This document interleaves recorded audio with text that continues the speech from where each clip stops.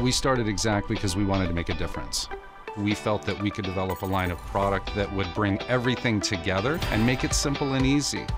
The Xactly family of products is built around a fantastic collection of bags with integrated wireless charging solutions to solve all your audio and power needs and integrated hydration pockets to keep you on the go and balanced throughout the day.